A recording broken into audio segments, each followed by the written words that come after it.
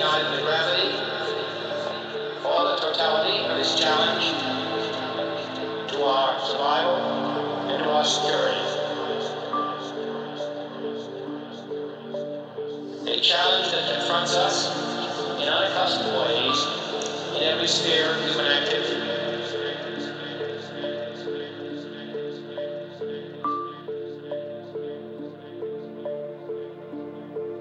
We are coming.